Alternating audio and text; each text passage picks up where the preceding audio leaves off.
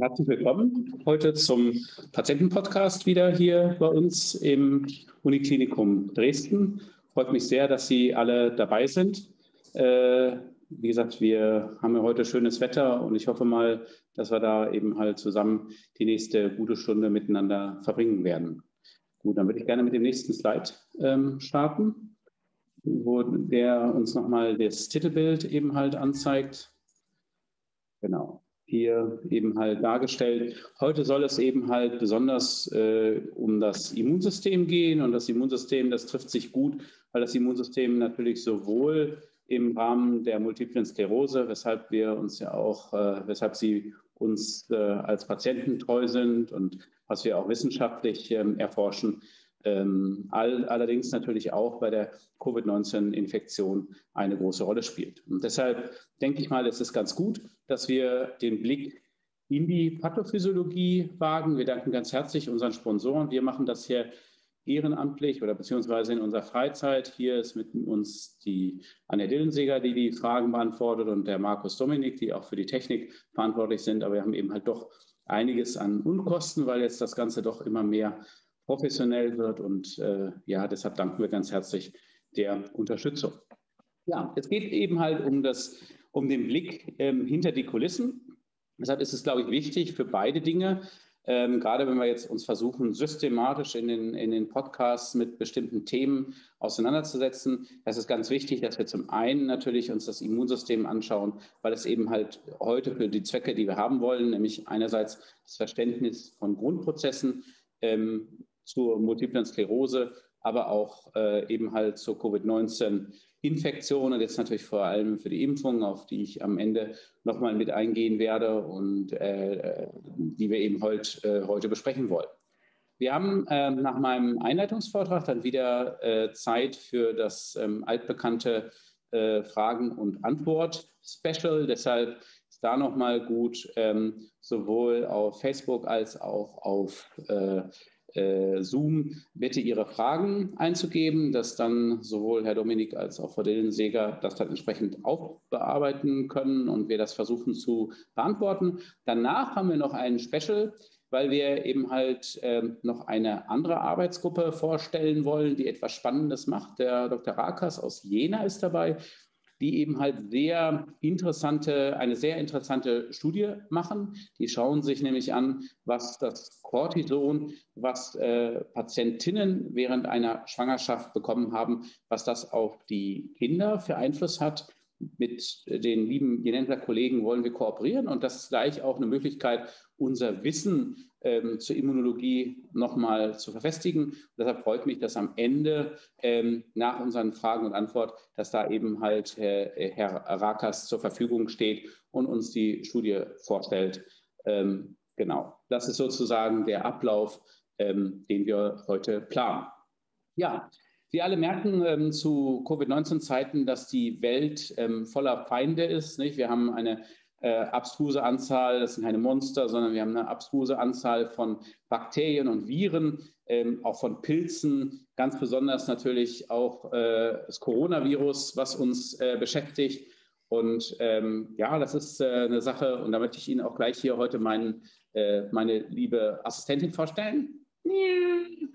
Hallo, ich bin Coroni. Hallo. Na, das ist sozusagen ähm, die Coroni die uns ähm, auch so ein bisschen leiten wird. Aber jetzt geht es erstmal ums Immunsystem. Corona, jetzt verschwinde mal wieder. Okay? Also, ähm, wir beschäftigen uns eben halt mit äh, dem Immunsystem, was all das eben halt aus der Welt schaffen soll. Aber es ist eben halt nicht nur, dass das Immunsystem wichtig ist für die Infektionsabwehr, sondern vielfach liegt die Gefahr auch innen. Ne? Es ist nämlich so, dass sich natürlich auch ähm, jeden Tag eben halt ähm, entartete Zellen bilden, Krebszellen bilden, nicht? dass die Zellen nicht mehr sich an Wachstumsregeln handeln, nicht mehr an Differenzierungsregeln halten.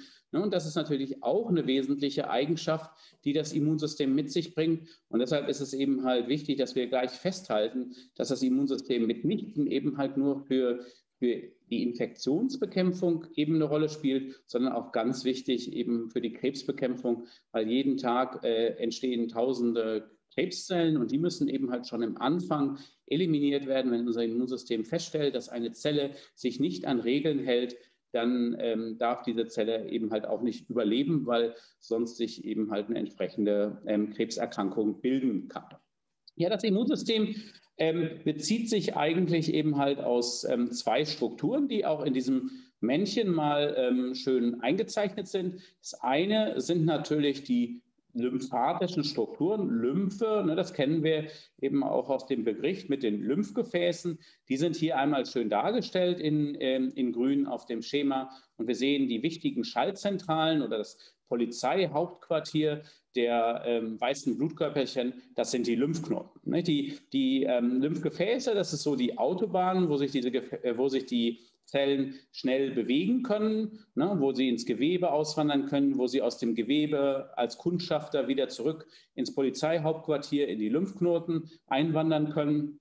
Da gibt es eben halt spezielle Zellen, die dafür verantwortlich sind und das sind die weißen Blutkörperchen, weiß, weiße Blutkörperchen, deshalb auch der Begriff der Leukozyten. Und wir haben eben halt die Strukturen, die Lymphgefäße, aber wir haben eben halt auch noch spezielle Organe, die eben halt für das Immunsystem von ganz wichtiger Bedeutung sind. Und zwar da haben wir ähm, zum einen, ähm, wir werden es gleich sehen, dass wir zwei unterschiedliche Arten von, von Lymphozyten haben, die auch gerade in der MS, auch bezüglich der Therapie, eine ganz wichtige Rolle spielen. Wir haben zum einen das Knochenmark.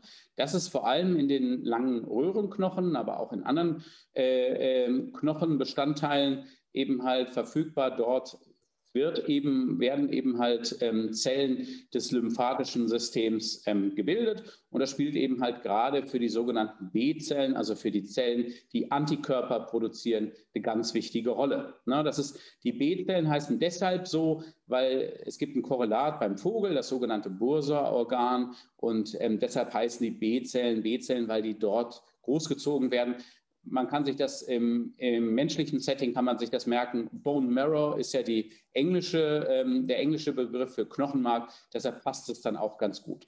Die anderen Zellen ähm, des spezifischen Immunsystems, was wir gleich kennenlernen werden, sind die T-Zellen. Und die T-Zellen heißen deswegen so, weil die im Thymus zur Schule gehen. Der Thymus ist ein Organ, was hier liegt, was, in der was meistens eben halt bei uns Erwachsenen ähm, degeneriert ist, weil da die Messe schon gelesen ist, da hat die Erziehung schon stattgefunden. Na, aber insbesondere bei Kindern oder auch, äh, kennt es ja durchaus auch als äh, Delikatesse, dass man äh, die Thymusdrüse eben halt bei verschiedenen Tieren eben halt zubereitet.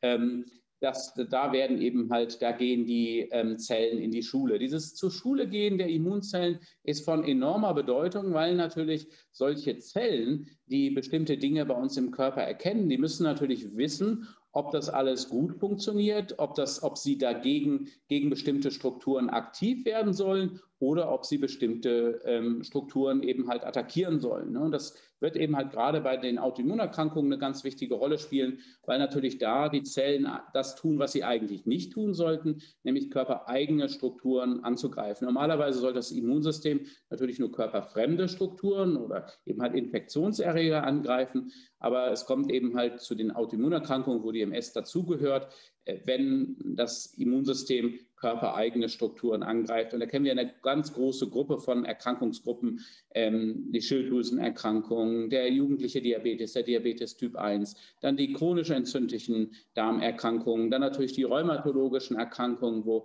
Gelenkstrukturen angegriffen werden, die Hauterkrankungen, ne, die da eben halt auftreten können, Psoriasis oder auch blasenbildende Hauterkrankungen. Also jedes äh, Gebiet, ähm, jedes Fachgebiet hat äh, Autoimmunerkrankungen, die halt dort kommen. Und deshalb ist es wichtig, diese Schule zu kennen, weil äh, diese Schule der Lymphozyten, wo sie lernen, gegen was man aktiv werden sollte und was man eben halt nicht ähm, ähm, gegen was man nicht aktiv äh, werden sollte. Und dann haben wir aber noch die sogenannten sekundären lymphatischen Organe.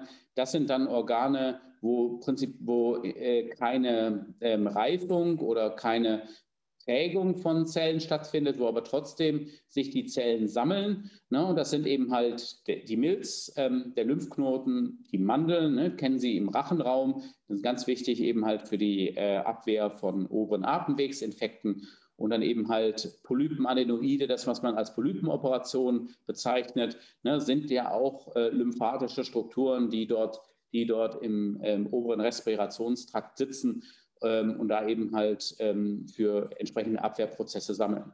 Das Immunsystem ist zum größten Teil in diesen Immunorganen lokalisiert. Das ist genauso wie bei der Polizei.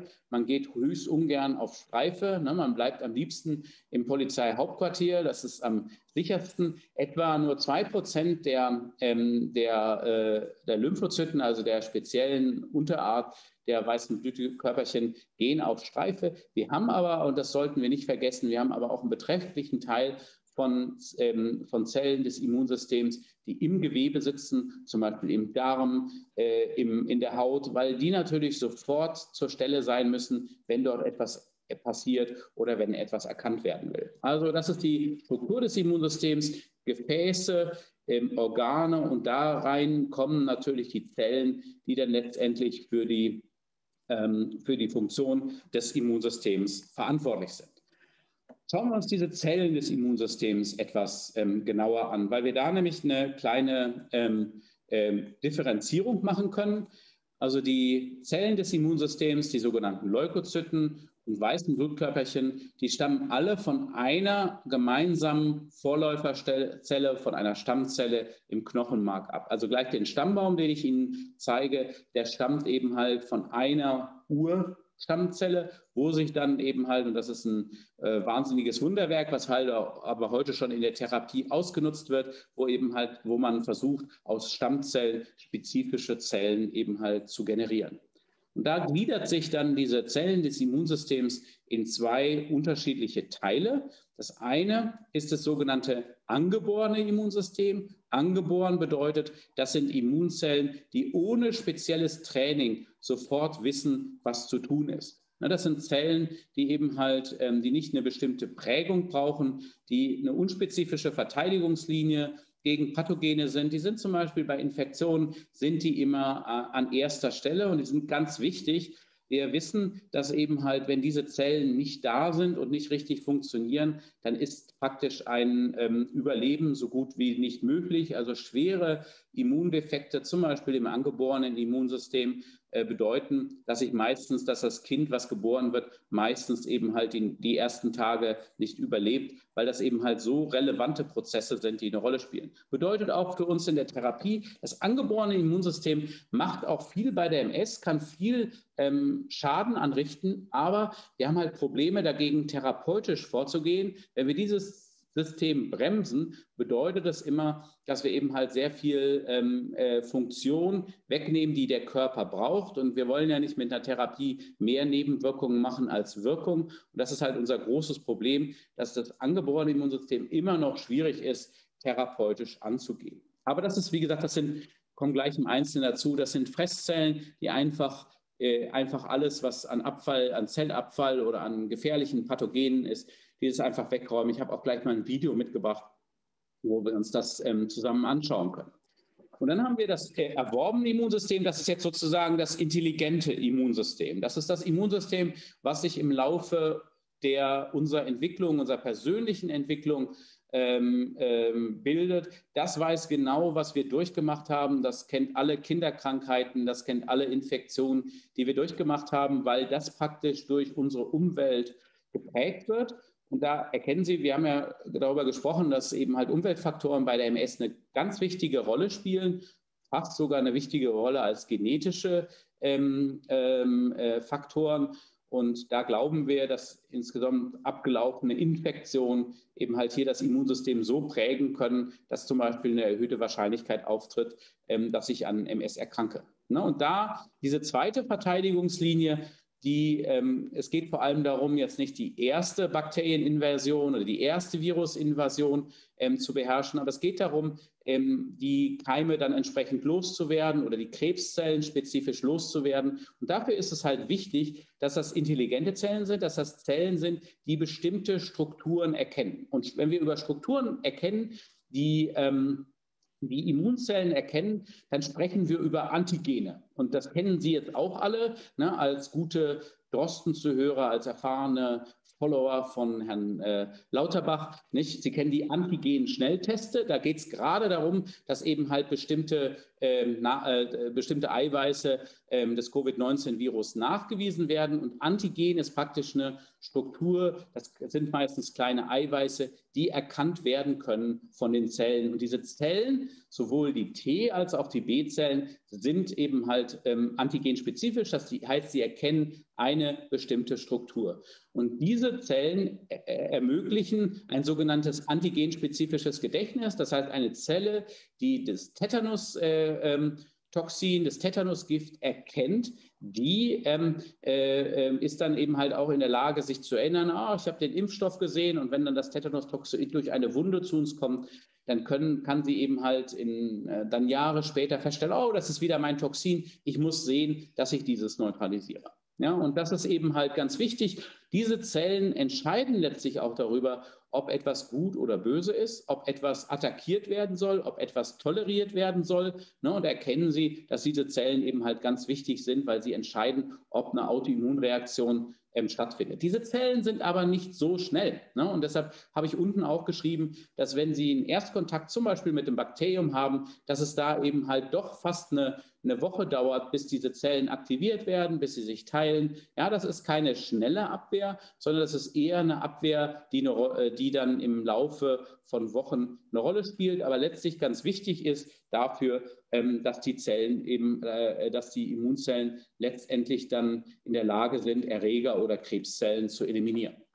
Hier ist das jetzt nochmal in dem Schema dargestellt. Sie sehen oben die Stammzelle, die Mutter äh, in dem ähm, äh, ähm, Stammbaum. Und dann haben wir zwei Arten von Zellen. Das eine sind eben halt die Lymphozyten oder die lymphoiden Vorläufer.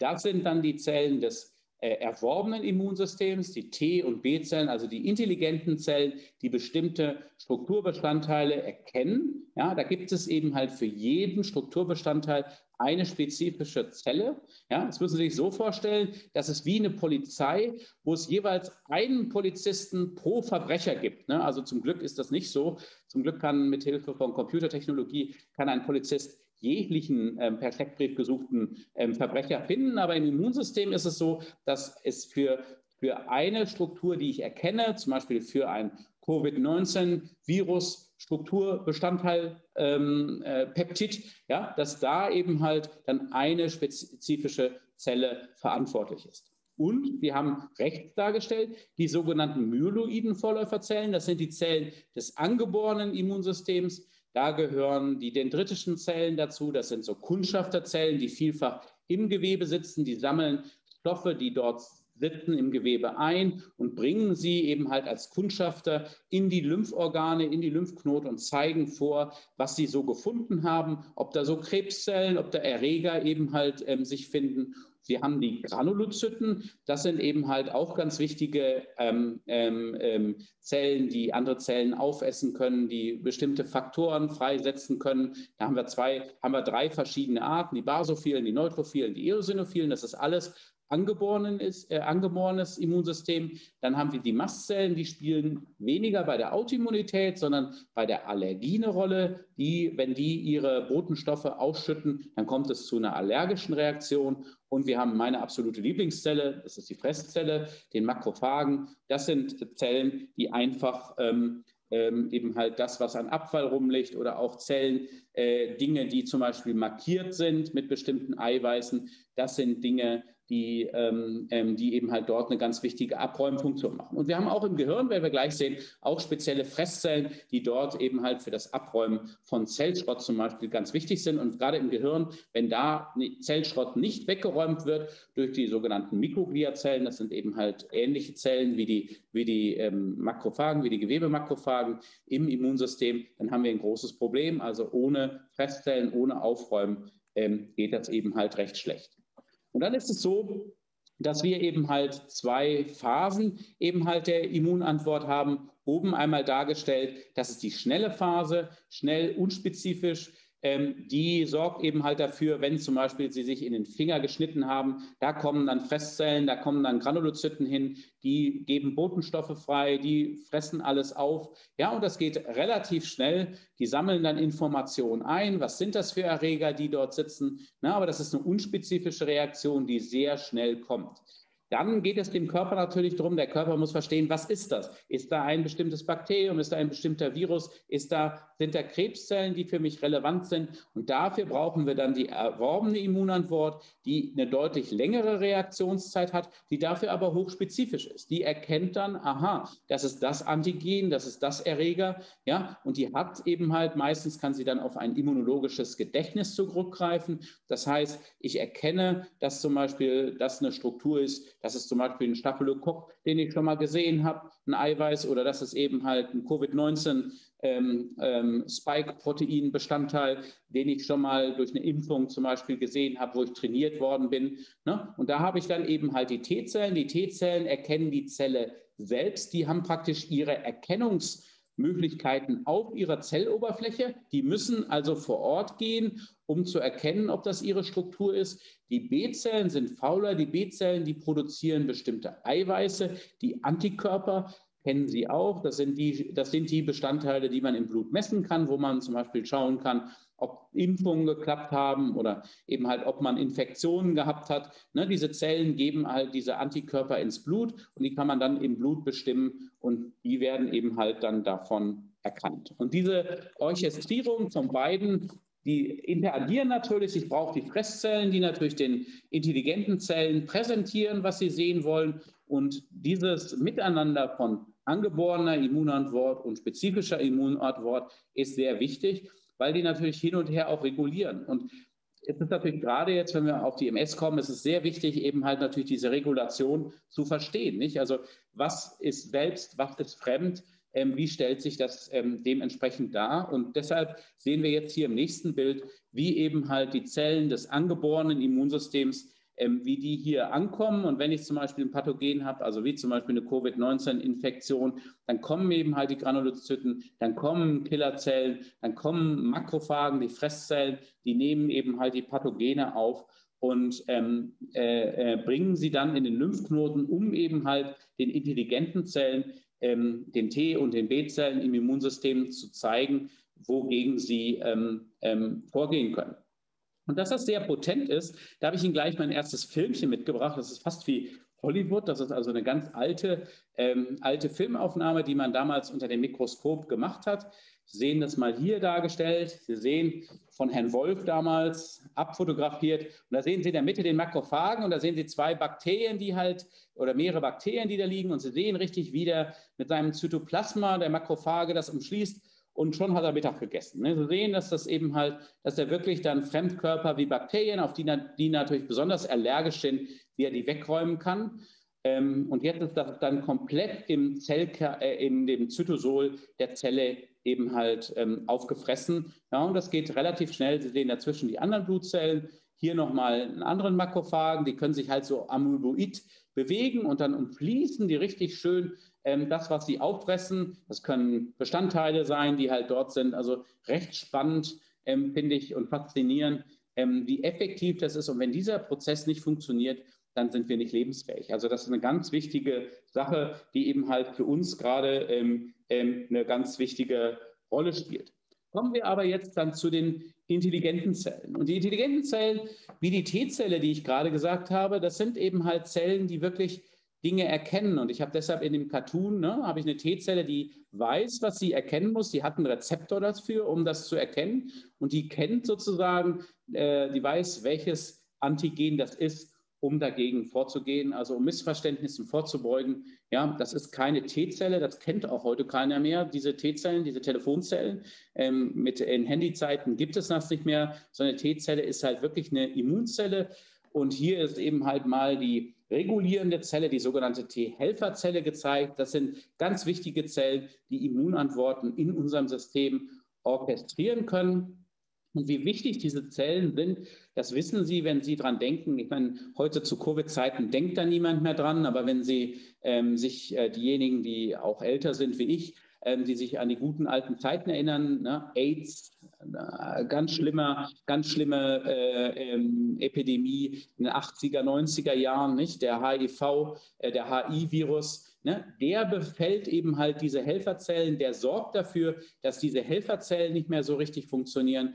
Und als man die, ich meine, jetzt kann man zum Glück ja heute HIV therapieren, aber ähm, als man das nicht konnte, wissen Sie, dass diese Patienten, die AIDS-Patienten dann an Infektionen und Krebserkrankungen gestorben sind, weil diese wichtige Zelle eben halt dem Immunsystem ähm, gefehlt hat. Und die ist natürlich auch für uns eine ganz wichtige Rolle, weil natürlich diese T-Helferzellen, die gegen das Myelin gerichtet sind, ähm, wie hier einmal dargestellt, den Agenten, ne, weil die natürlich auch in der MS-Entstehung eine ganz wichtige Rolle spielen.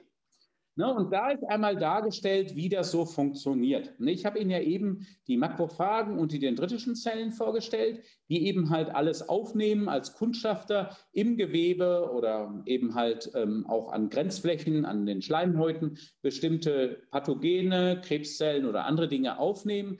Die bringen sie dann in den Lymphknoten und im Lymphknoten präsentieren Sie das richtig auf dem Silbertablett. Da gibt es extra ganz komplexe Eiweiße, die auf der Oberfläche sind. Diese Eiweiße sind bei jedem Menschen unterschiedlich.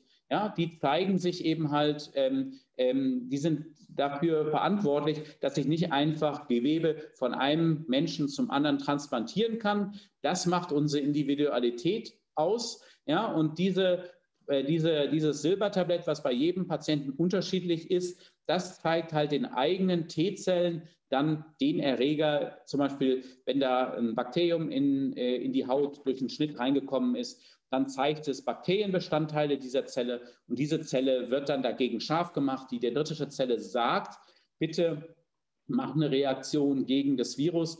Und die dendritische Zelle, das nehmen wir bei der MS an, die sagt dann eben halt auch dieser T-Zelle, so T-Zelle, greife das Gehirn an. Und das sind die Prozesse, die wir im Moment, zumindest bei den Autoimmunerkrankungen, noch nicht verstehen, warum eben halt es zu, einem, zu diesem Prozess kommt, dass diese Zellen, ähm, die gegen autoimmune ähm, ähm, Strukturen gerichtet sind, also gegen körpereigene Strukturen gerichtet sind, dass die eben halt attackiert werden dann von den Zellen des eigenen Immunsystems. Und da haben wir eben halt bei den T-Zellen haben wir ganz unterschiedliche Zellen wieder. Ich will da nicht weiter darauf eingehen, aber wir haben die Helferzellen, die ganz wichtig sind in der Immunantwort. Wir wissen, es gibt dann sogenannte regulatorischen Zellen, die scheinen bei der MS ganz wichtig zu sein und scheinen nicht so zu funktionieren. Das sind Bremsezellen. Also diese Zellen sollen zum Beispiel verhindern, dass solche Autoimmunreaktionen auftreten. Und wir wissen, dass diese Zellen zwar nicht in ihrer Anzahl, aber in ihrer Funktion, diese Bremszellen bei der MS eben halt gestört wird. Und dann können eben halt auch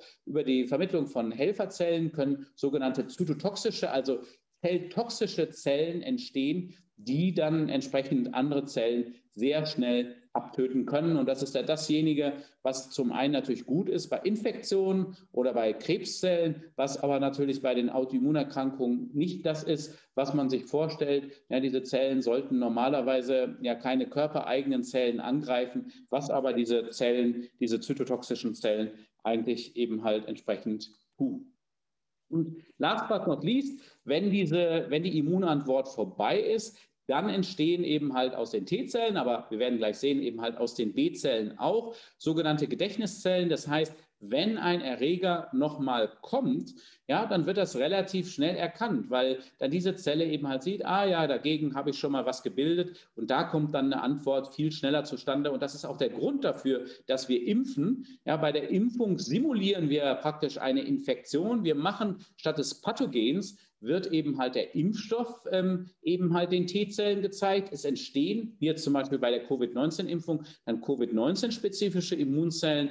Und dann, wenn eine richtige Infektion droht, na, wenn wir uns drohen anzustecken, dann sind diese Zellen schon da durch die Impfung. Ja, und dadurch kann eben halt keine richtige Infektion entsprechend auftreten. Na. Und die B-Zellen, die ähm, sind eben halt auch Zellen, die über, im Wesentlichen über T-Zellen, aber die können eben halt auch über andere ähm, ähm, Mechanismen reguliert werden. Und diese B-Zellen die produzieren dann entsprechende Antikörper, die eben halt auch zur Bekämpfung zum Beispiel von sowas wie dem SARS-CoV-2-Virus, aber eben halt auch natürlich bei bestimmten anderen Impfungen, Neutralisierung von Giften im Körper, Tetanusgift hatten wir eben schon mal erwähnt, eine Rolle spielen. Auch hier gibt es wieder regulatorische Zellen und wir, wir müssen, Sie müssen verstehen, es gibt nicht einzelne Zellen, sondern es gibt ein riesen immunologisches Netzwerk und dieses Netzwerk ist komplett balanciert. Ja, da da, da gibt es also Zellen, die aggressiv sind, da gibt es Zellen, die bremsen. Ja, und das ist dieses, wir glauben, dass eben halt beim Netzwerk eben halt im Rahmen der MS, dass da eben halt gewisse Fehlregulationen auftreten. Last but not least kommen auch bei den B-Zellen eben halt die sogenannten Gedächtniszellen, also Zellen, die dann relativ schnell Antikörper-Eiweiß produzieren können, wenn sie, ähm, ähm, ja, wenn sie äh, zum Beispiel dann wieder aktiviert werden. Die Plasmazellen, das sind Zellen, die sehr, sehr große Mengen vom Antikörper produzieren können. Ne, diese Plasmazellen sind auch sehr langlebig und die sind zum Beispiel dafür verantwortlich, die verwenden wir zum Beispiel auch in der Diagnose der Multiplen Sklerose. Wenn wir, wenn wir zum Beispiel eine Lumbalpunktion, eine Liquorpunktion, eine Gehirnwasserpunktion machen, dann suchen wir auch nach bestimmten Antikörperkonstellationen, wie zum Beispiel den oligoklonalen Banden, die dort ähm, sich entsprechend ähm, zeigen. Also hier nochmal zusammengefasst in so einer Präsentation. Ähm, Primär ist das angeborene Immunsystem die Fresszelle, die einen Erreger oder irgendwas anderes hat, die den Erreger aufhört. Dann wird der Erreger verdaut und dann wandert diese Zelle eben halt in den Lymphknoten oder in ein Immunorgan und präsentiert diese Bestandteile des Erregers, die Antigene, präsentiert das eben den Zellen, die dort im Immunorgan setzen. Die T-Zelle, insbesondere die T-Helferzelle, die erkennt das Ganze und erkennt, aha, gegen diesen Erreger, da machen wir jetzt mal eine Immunantwort, da werden wir jetzt mal gegen aktiv.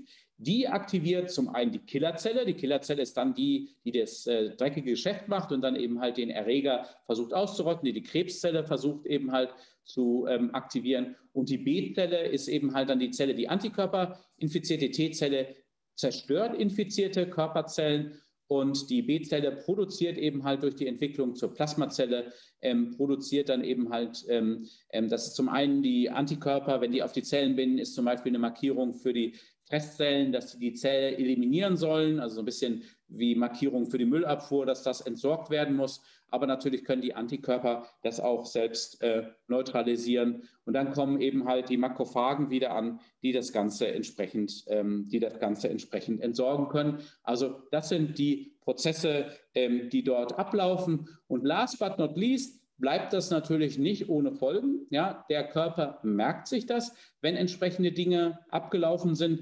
Und das glauben wir eben halt, dass das natürlich bei der MS oder bei bestimmten anderen Autoimmunerkrankungen natürlich auch ein Problem ist. Das heißt, wenn natürlich solche Gedächtniszellen da sind, die gegen bestimmte Bestandteile äh, aktiviert sind, dann können die natürlich auch wieder wachgeküsst werden. Nicht? Dann können die wieder reaktiviert werden, genau wie bei einer Infektion äh, diese Zellen wieder hervorgeholt werden. Und das ist halt das Problem. Auf der einen Seite ist es gut, dass wir so ein Gedächtnis haben. Auf der anderen Seite bei Autoimmunerkrankungen kann, bedeutet das natürlich, dass immer wieder solche Phasen auftreten können. Das ist sozusagen die Grundlage. Ähm, und da wollen wir jetzt mal anschauen, was dort eben halt im Tatort Gehirn passiert. Nicht? Wenn wir uns eben halt anschauen, was passiert bei der MS und wie sind diese Zellen eben halt dafür ähm, verantwortlich. Ja? Und prinzipiell ist es so, dass ja bei der MS ähm, hier einmal dargestellt die Nervenzellen mit ihren Umhüllungen, den Myelinscheiden. Ne, und prinzipiell werden vom Immunsystem diese Myelinscheiden eben halt attackiert. Da spielen die T-Zellen eine wichtige Rolle. Da spielen die Makrophagen eine Rolle. Also wenn Sie einmal einen Makrophagen in das Gehirn reinholen, normalerweise ist das Tabuzone, aber wenn eine schwere äh, ähm, Entzündung im Gehirn ist, dann können auch diese Fresszellen hereingehen und das ist so ähnlich als würden sie ähm, äh, bestimmte Spezies in Stromkästen loslassen oder Wasser im Stromkasten haben. Das ist äußerst gefährlich. Ja? Ähm, die Antikörper, die B-Zellen, hier sehen Sie die B-Zellen, die die Antikörper produzieren, die dort halt eine Rolle spielen. Manche Prozesse kennen wir noch gar nicht. Primäres ähm, Ziel des Immunsystems sind die ähm, Zellen, die die Markscheide bilden, also die, die Nervenfaser umhüllen. Aber wir wissen heutzutage, dass eben halt leider Gottes, und das ist nicht so einfach, weil, da, weil diese Zellen sich eben halt nicht wieder erneuern können. Die, die Isolationszellen, die Myelinzellen können sich wieder erneuern und mm, ähm, das kann man auch heutzutage, ist man auch dran, das therapeutisch zu fördern. Aber Nervenzellen, die hier dargestellt sind, wenn die eben halt zerstört werden vom Immunsystem, können die nicht wieder, ähm, können die nicht wieder äh, ähm, wiederhergestellt werden, sodass letztlich die MS ähm, hier nochmal in so einem Schema ähm, äh, das bedeutet, dass eben halt die Nervenzelle mit ihrer langen Nervenfaser von der Markscheide umhüllt, dass da das Immunsystem das angreift und wie diese Pac-Mans dargestellt sind, wenn eben halt dieser Prozess auf die Myelinscheide eben halt stattfindet, dann ähm, ist natürlich die Nervenleitung nicht mehr gut. Ne, wir kennen das vom Stromkabel, wenn da halt die Isolation fehlt, haben wir ein, haben wir ein Riesenproblem, was sich dort eben halt zeigen kann. Und auf der anderen Seite ist es so, dass wir äh, natürlich, ähm, wenn dann der Schaden so stark ist, dass auch die Nervenfaser angegriffen werden kann, da haben wir dann eben halt ein signifikantes Problem. Hier habe ich mal mitgebracht, wie sieht denn so ein Entzündungsherd mal aus, wenn wir das in, in Realität sehen. Das ist jetzt ein Gewebeschnitt durch das Gehirn und Sie sehen in der Mitte, sehen Sie ganz viele schwarze Punkte. Das sind äh, die Zellkerne der Entzündungszellen, die im Gewebe drin sitzen. Und ähm, da, das ist eben halt ein Bild, ein histologisches Bild von Gewebe, wo ein Entzündungsherd im Gehirn ist. Da ist nämlich genau das passiert, dass die Entzündungszellen aus dem Gefäß, Sie sehen rechts und links neben dem Entzündungsherd, sehen Sie eben halt so eine Öffnung. Das sind die Gefäße. Die Zellen kommen durch die Blutgefäße in das Gehirn und führen dort eben halt zu, diesem, zu, dieser, ähm, zu dieser Attacke auf die, äh, auf die Myelinscheide und leider Gottes eben halt auch auf die Nervenfasern. Und die Nervenfaserattacke ist meistens eben halt nicht, ähm, ähm, ähm die führt eben halt meistens zu, zu bleibenden Defiziten. Ähm, ich habe Ihnen jetzt mal mitgebracht, um Ihnen mal zu zeigen, ähm, wie kompromisslos jetzt, ich habe Ihnen die Fresszellen vorgestellt, aber ich will Ihnen jetzt auch mal zeigen, wie so eine T-Zelle eben halt äh, mit umgeht. Ich habe das jetzt nicht im Gehirn, das ist etwas schwierig, das zu zeigen, sondern man kann das viel schöner zeigen in dem Video, wo man anschaut, ähm, was eine T-Zelle mit einer Tumorzelle entsprechend macht. Das habe ich mal im, im nächsten Video mit drin, eben halt, was der Dr. Sullivan eben halt ähm, gezeigt hat, wo wir das eben halt mal sehen. Und äh, genau, hier ist es. Unten sehen Sie den Lymphozyten, oben die Krebszelle. Ja, und Sie sehen, Ne? Das ist natürlich ein bisschen mit Zeitraffer. Sie sehen, wie richtig die T-Zelle eliminiert wird. Die, die, der T-Zellrezeptor, die Zelle gibt Botenstoffe, andere Faktoren, die wirklich relativ gut eine Zelle abtöten können. Das ist gut natürlich, wenn es eine Krebszelle ist. Aber wenn Sie sich vorstellen, dass es zum Beispiel eine Nervenzelle ist, ähm, haben wir natürlich ein signifikantes Problem. Ja? Und das ist eben halt das, was ich sagte. Wir haben ein Geflecht von unterschiedlichsten Zellen. In der Regel ist das Gleichgewicht eben halt zwischen aktivierten Zellen und bremsenden Zellen so, dass eben halt keine ähm, Entzündungsreaktion, keine Attacke eben halt des Myelins stattfindet. Und bei der MS haben wir eben halt eine Verschiebung dieses dieses Ungleichgewicht zwischen entzündlichen und regulatorischen Zellen, sodass es eben halt dazu kommt, dass das, ähm, dass das ähm, ähm, ähm, Gehirn eben halt angegriffen wird. Na, schauen wir uns das mal in einer, in einer, äh, in einer Sequenz an.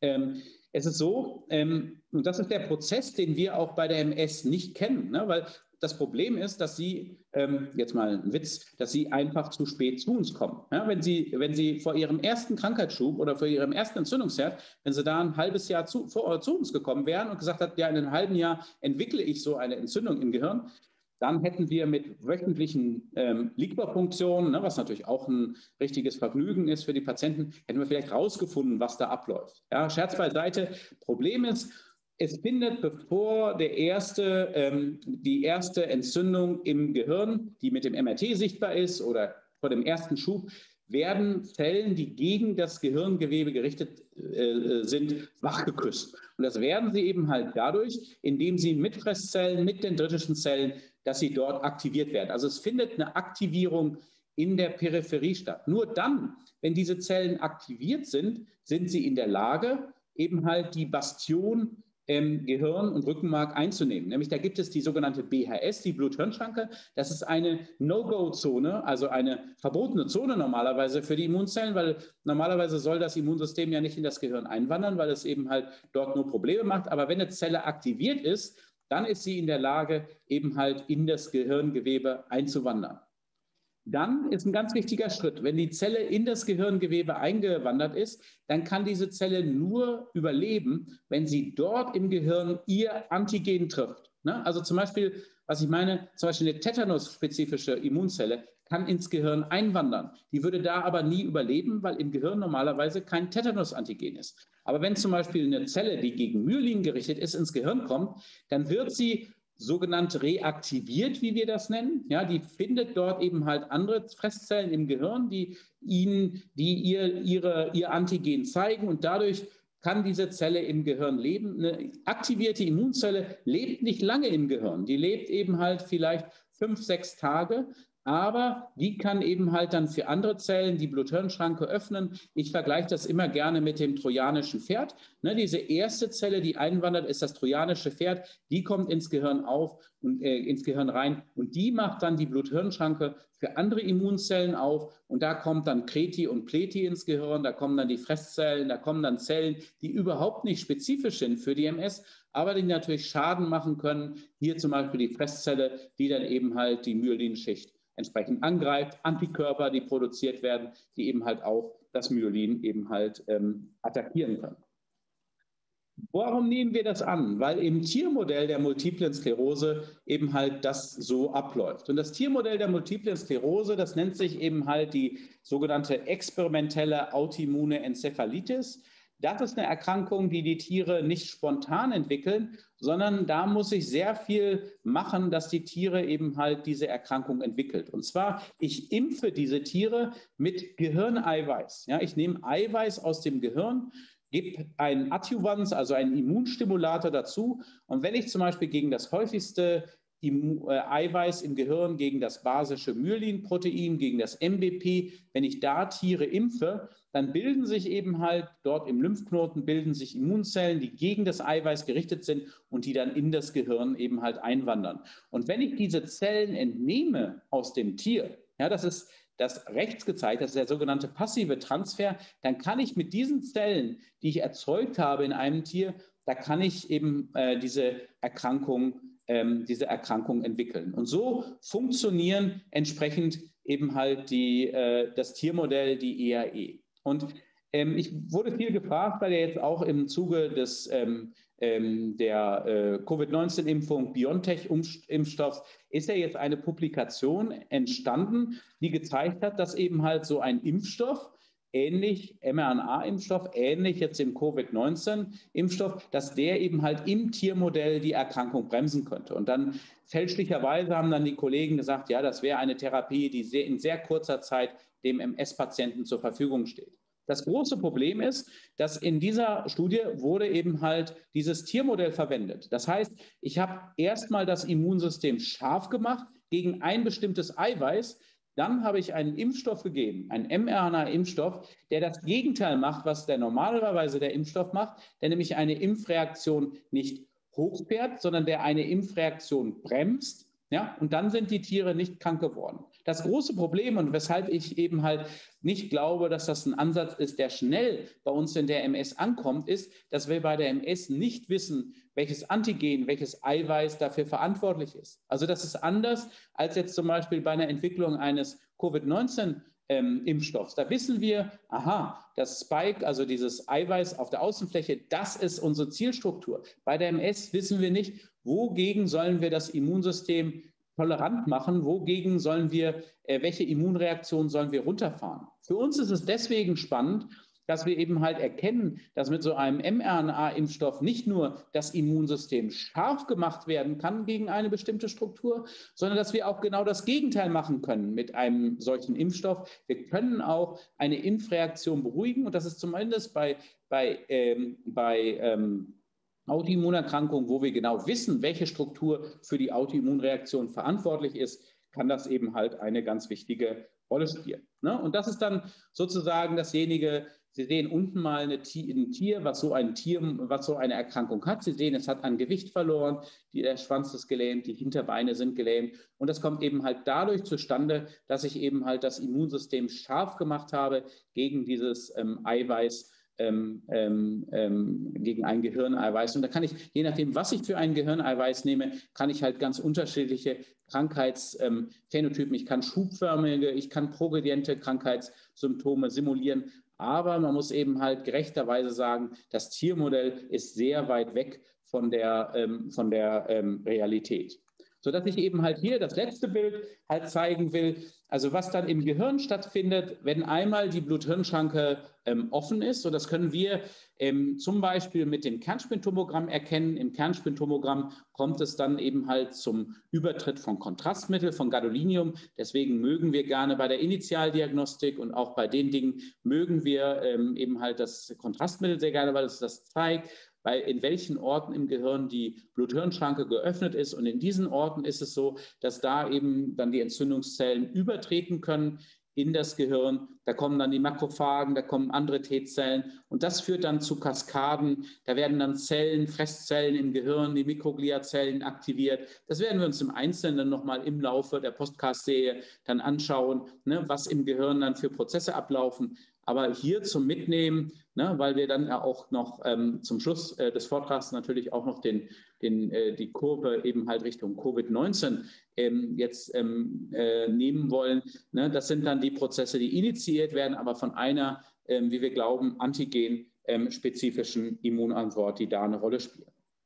Kommen wir deshalb jetzt zum zweiten Teil, äh, zum letzten Teil, eben halt zum, zur Covid-19-Immunisierung. Da ist natürlich jetzt ähm, das Gegenteil, ne, wir wollen bei der MS wollen wir eigentlich keine Reaktion des Immunsystems haben, als das das Pathologische.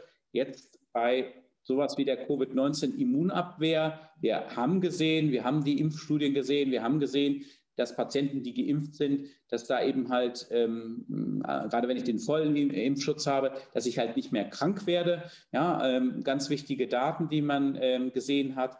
Ähm, und da ist es natürlich wichtig, dass wir uns das ähm, dass wir uns da mal anschauen, wie sieht denn da die Struktur aus im Immunsystem. Und das ist halt viel einfacher theoretisch gesehen als im Immunsystem, weil wir wissen relativ gut, ähm, was wir für einen Erreger vor uns haben und mit welcher Struktur ähm, oder welche Struktur wir praktisch, ähm, mit welcher Struktur wir das Immunsystem trainieren müssen, dass das Immunsystem besser eben halt mit dem Covid-19-Virus fertig wird. Und hier ist nochmal, ähm, haben wir eben schon ähm, Coroni gesehen. Ähm, charakteristisch eben halt diese Spikes. Das sind die Dinge, wir sehen das oben links auch nochmal dargestellt, diese Spikes, Glykoprotein S-Spike, ne, das steht oben in dieser Schemazeichnung auf der rechten Seite.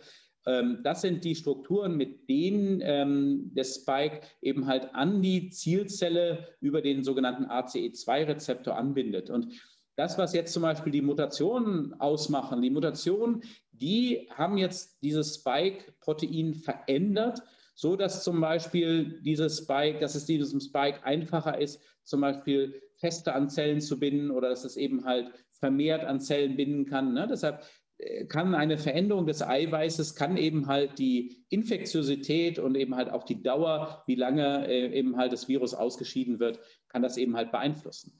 Wenn das Virus an die Zelle angedockt hat, ne, an die Zelle im, in den Atemwegen angedockt hat, dann geht es in die Zelle rein. In der Zelle wird dann die Erbinformation gepackt. Im Virus ist ja nichts anderes drin als Virushülle und Erbinformation.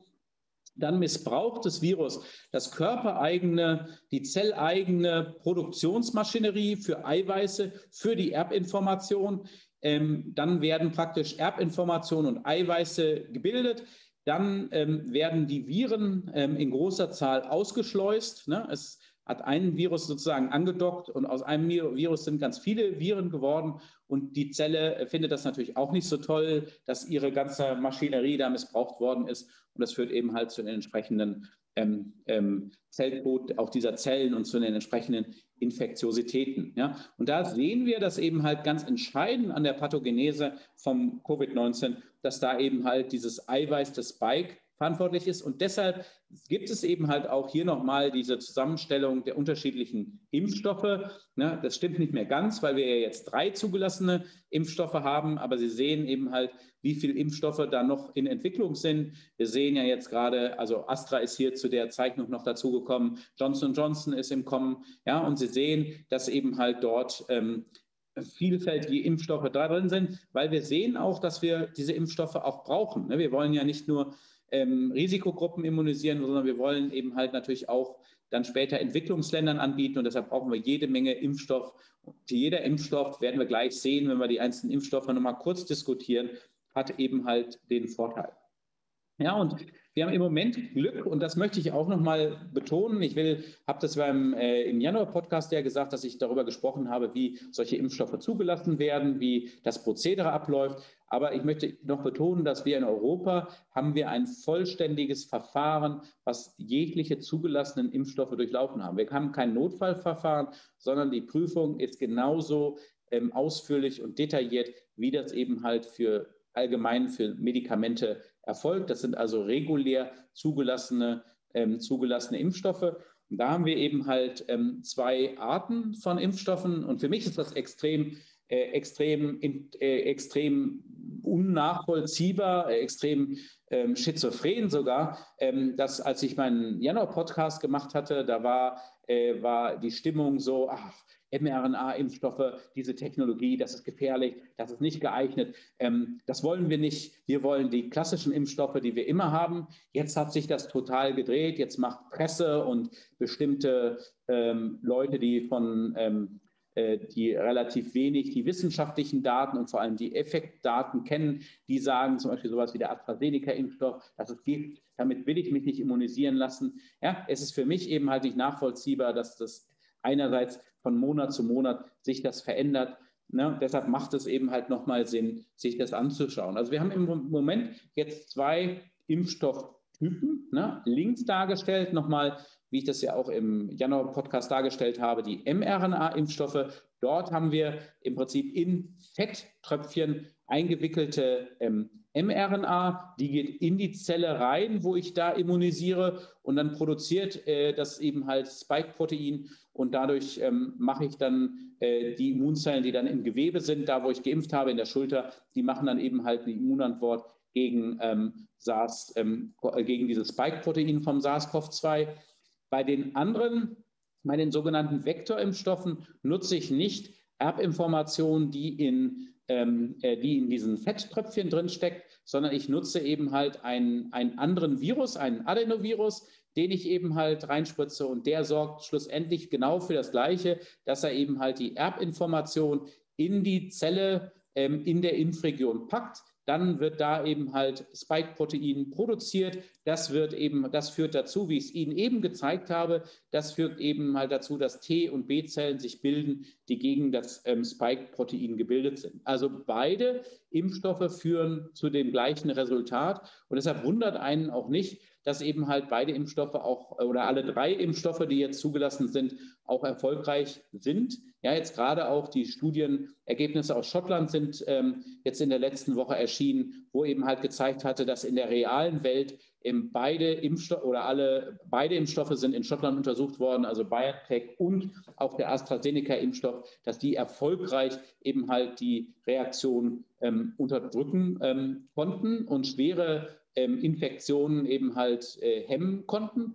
Ne? Aber da muss man wirklich sagen, dass in der schottischen Untersuchung war sogar nach, wo man die, schon nach den Reaktionen nach der ersten Impfung gesehen hat, da war Astra sozusagen erfolgreicher als BioNTech. Ich persönlich glaube, wenn ich mir die Daten anschaue, dass das, ähm, dass das keine, dass die Unterschiede marginal eben halt sind. Und ich glaube, egal welchen, welches Impfprinzip ich habe, ob mRNA und Covid-19, das gilt gleichermaßen auch für MS-Patienten. Ja, es ist egal, welchen Impfstoff ich bekomme. Es hat äh, zum Beispiel der Astra-Impfstoff hat einen großen Vorteil, dass ich zum Beispiel eine längere Zeit zwischen erster und zweiter Impfung habe. Und das kann zum Beispiel bei Infusionstherapien, wo ich dann vor einer Infusion die erste und dann nach einer Infusion, drei Monate nach einer Infusion, die zweite Impfung machen kann, kann von großem Vorteil sein, als zum Beispiel eine Impfung, die ich im Abstand von drei Wochen habe, wie das bei den mRNA-Impfstoffen sind. Also von meiner Seite aus klar, keine Bevorzugung eines Impfstoffs. Die drei Impfstoffe, die wir haben, spielen in einer Liga, sind von ihrem Effekt eben halt ähm, vergleichbar. Und ähm, was wir im Moment erleben mit ähm, AstraZeneca-Bashing und dort ähm, ist eben halt wissenschaftlich auch von den Effekten nicht nachvollziehbar. Ich habe hier noch mal einmal ein Bild im Ich möchte eine Drama-Serie zu den mRNA-Vakzinen hier einmal kurz ja. vorstellen. Ähm, das, das sind ja zwei halt Vakzine. Ähm, das war da eben halt, dass ich Ihnen das zeige. Das sind eben halt zwei Impfungen, ähm, die eben halt zugelassen worden sind, mRNA. Ich möchte Ihnen nur zeigen, wie das nochmal funktioniert. Die mRNA ähm, kodiert eben halt für diese Spike-Proteine, das sind die in der äh, Elektronenmikroskopie, die diese kronenartige Struktur haben, ne, wie hier im Cartoon dargestellt. Und wenn ich den Impfstoff eben halt spritze, in, äh, zum Beispiel in eine Muskelzelle, dann führt das dazu, dass diese Muskelzelle Spike-Protein produziert. Und dieses Spike-Protein wird dann dem Immunsystem gezeigt, ja, und das führt dann dazu, dass eben halt eine spezifische Immunantwort eben halt gebildet wird und ich dann Antikörper habe zum Beispiel, die dann das Virus neutralisieren können. So läuft das eben halt dort entsprechend ab. Das ähm, Spike-Protein ist für eine Zeit eben halt nachweisbar. Es geht nicht, die RNA geht nicht in den Zellkern, es kann nicht zu Veränderungen dort führen. Wenn ich das Ganze eben halt produziert habe, wird die mRNA relativ schnell denaturiert und ich sehe eben halt hier, dass diese Spike-Proteine nur etwa für 72 Stunden nachweisbar sind. Die mRNA ist sogar innerhalb von 24 Stunden weg. Das heißt, der Impfstoff ist schnell weg und macht eben halt äh, seine Rolle. Ich will Ihnen kurz zeigen, wie die Effektivität von Impfstoffen gemessen wird. Man misst, wie viel Infektion unter ähm, dem Vakzin und Placebo auftritt. Zum Beispiel acht sind unter dem Verum aufgetreten, 162 unter Placebo. Da bilde ich die, die, äh, die Ratio, das sind 0,05, die ziehe ich von 1 ab und dann habe ich diese 95 Prozent. Da sehen Sie, dass selbst kleinere Änderungen große Effekte haben können. Das ist jetzt die BioNTech-Zählung, ja, und das ist jetzt die Moderna-Zählung, wo ich 11 von 100 zu 185 habe und da habe ich dann eine Effektivität von 0,94. Also so wird das gemacht und so mit, Sie sehen auch, dass das nicht ein gut geeignetes äh, Prozedere ist, auch Impfstoffe eben halt zu vergleichen. Warum ist das wichtig, dass ich impfe? Weil ich eben halt dadurch ähm, versuchen wir mal, das zu starten. Genau, weil ich dadurch eben halt diese sogenannte Herdenimmunität erzeugen kann. Wenn jetzt hier ähm, unterschiedliche Personen erkranken, dann, äh, dann führt es halt dazu, dass eben halt die ihre Mitmenschen ähm, ähm, ähm auch infizieren können. Und je mehr ich eben halt mit einem schützenden Immunsystem versorge, wie hier dargestellt die grünen Männchen, die können dann eben halt zu Durchbrechen von Infektionskaskaden führen. Ne? Und je schneller ich es schaffe, eben halt die Anzahl der grünen Männchen, wir sehen das jetzt hier mal im Zeitverlauf, zu erhöhen, irgendwann schaffe ich es dann, dass ich eben halt dann, ähm, dass diese Infektionskaskaden totlaufen und dass das Virus eben halt keine keinen Schaden macht. Und dann sind auch die Leute, die nicht geimpft sind, ne, das ist eben halt auch so, auch wenn man keine 100 Prozent erreicht, sind die dann geschützt. Das ist der positive Effekt der Herdenimmunität, die jetzt zum Beispiel bei uns wichtig ist für die Kinder, die dann geschützt sind, weil es da eben halt im Moment noch keine richtigen Impfstoffe gibt. Und da ist eben halt wichtig, dass ein beträchtlicher Anteil von Patienten geimpft ist, um eben oder von Menschen geimpft ist, um eben halt diese, ähm, diese Herdenimmunität zu erzeugen. Ja, was ist wichtig, wenn ich mir jetzt MS-Patienten anschaue? Was möchte ich da, äh, was muss ich da beachten?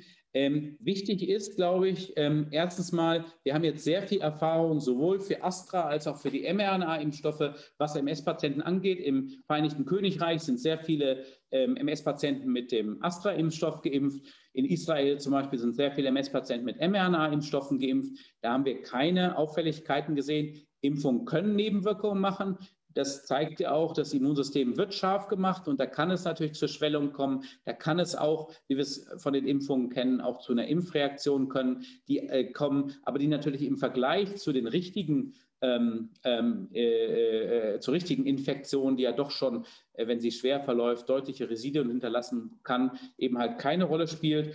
Ne? Aber was glauben wir, was wichtig ist? Und deshalb wollen wir das bei uns im Zentrum auch untersuchen. Wir glauben, dass es wichtig ist, dass man sich anschaut, ähm, wie diese Reaktion bei MS-Patienten abläuft. Also wir wissen, dass durch diese Totimpfstoffe Sämtliche Vakzine, die wir haben, sind Totimpfstoffe, sowohl AstraZeneca als auch eben halt die mRNA-Impfstoffe oder auch der Johnson-Johnson-Impfstoff, der wohl der erste, nächste ist, der kommt, sind Totimpfstoffe, die eben halt eine gute Wirkungs-Nebenwirkungsbilanz haben. Was eben halt unklar ist und vor allem bei den Therapien eine Rolle spielt, ist eben halt, wie lange der Impfschutz besteht, wie immunologische Veränderungen sind unter Immuntherapie.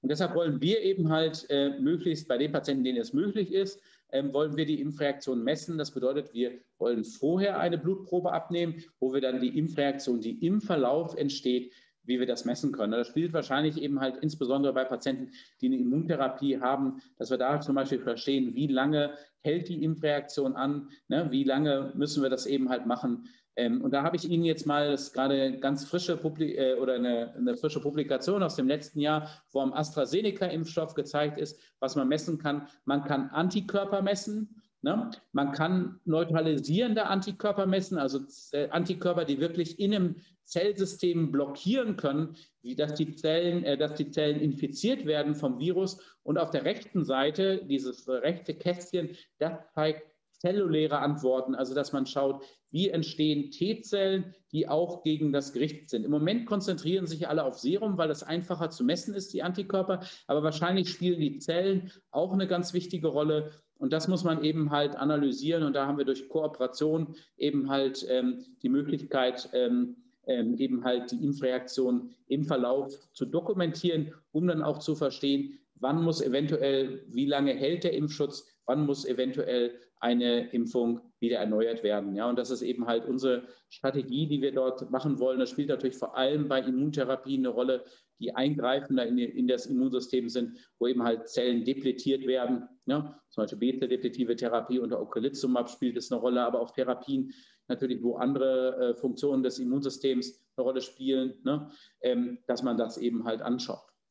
Sodass ich zusammenfassen möchte, ähm, den Part, jetzt den letzten Part, was eben halt ähm, die Impfungen angeht. Es gibt eben halt eigentlich zwei unterschiedliche ähm, Argumente ähm, ähm, ähm oder drei, inzwischen sogar drei unterschiedliche Argumente, warum wir ähm, eben halt eine Impfung mit ähm, SARS-CoV-2-Impfstoffen äh, äh, äh, eben halt haben wollen. Das eine ist eben halt, dass, wie ich schon gesagt habe, dass keine schweren Infektionen eben halt auftreten ähm, nach Impfung. Und das ist eben halt insbesondere bei den bei Risikogruppen ähm, relevant. Das ist ein persönliches Argument. Wenn Sie geimpft sind, ja, ist auch im Altersheim, ne, dann, dann, können Sie nicht mehr schwer erkranken. Ja? Und so, schon nach der ersten Impfung sehen wir einen deutlichen Effekt. Ne? Natürlich nach der zweiten ist es dann noch vollständiger, aber ähm, das Zweite ist eben halt, was ich gezeigt habe, dass wir den Aufbau einer Herdenimmunität haben. Das Video, was ich Ihnen gezeigt habe, dass wir eben halt, wenn genügend die, Inf die, Infusion, äh, die Infektion durch eine Impfung sozusagen vermeiden können, dass das äh, Virus nicht propagieren kann. Das ist das gesellschaftliche Argument. Und das, was allerdings jetzt noch nicht richtig publiziert ist, deshalb wollte ich Ihnen das noch nicht zeigen, aber was eben halt schon man gesehen hat, dass durch die Impfung auch die individuelle Infektiosität eine Rolle spielt. Das heißt, selbst wenn ich, ähm, wenn ich potenziell infiziert werde, dann ist praktisch die Wahrscheinlichkeit, dass ich dann selbst das Virus weitergebe, Virus ausscheide, dann ist die eben halt ähm, deutlich kleiner. Und ich glaube, das ist ein ganz wesentliches Argument, ähm, wenn wir das dann auch sehen, was uns hoffentlich dann auch, wenn geimpft wird, was uns eben halt einen Weg in die Normalität ähm, ermöglichen wird. Also zwiegespaltenes Immunsystem. Wir sehen bei der MS eine Hyperaktivierung. Bei der Immunisierung jetzt gegen SARS-CoV-2 müssen wir das Gegenteil machen. Ich hoffe, wir haben so ein bisschen eben halt gesehen, wie die Komponenten des Immunsystems eine Rolle spielen, auch hier experimentelle Daten, wie wir die in den Kontext steuern. Wir werden sicherlich im Rahmen eines Podcastes uns auch das Tiermodell nochmal genauer anschauen, weil ja viele der Studien, die wir dort haben, ähm, weil die dort halt äh, eine ganz wichtige Rolle spielen. Freue mich jetzt aber eben halt ähm, auf äh, äh, sozusagen den unkalkulierbaren ähm, Part, nämlich ähm, ähm, frage meine beiden Mitstreiter hier bei uns im, äh, im, im Besprechungsraum des Zentrums für klinische Neurowissenschaften, was gibt es an Fragen? Ähm, es gibt eine ganze Menge an Fragen. Ähm, ich hoffe, man kann mich hören. Ich sitze ein bisschen weiter am Mikrofon. Ich, habe es jetzt mal so strukturiert, dass ich mal anfange mit, dem Immun, mit den Fragen zum Immunsystem allgemein, ähm, dann ähm, wir für den, für den Rest.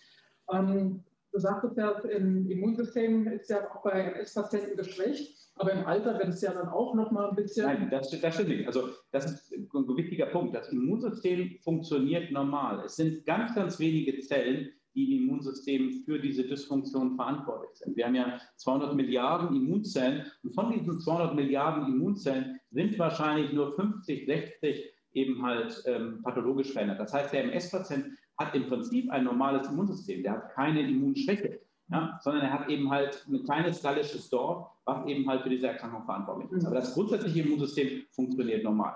Nee, da hatte ich mich jetzt ein bisschen falsch ja. ausgedrückt, sondern unter Therapie dass das Immunsystem da eben schon unterdrückt ist. Und gibt es dann einen Unterschied ähm, zu, ähm, wenn jetzt ein, ein normal reiferer MS-Patient mit Untertherapie sein Immunsystem im Vergleich mit einem älteren Menschen ohne Vorerkrankung?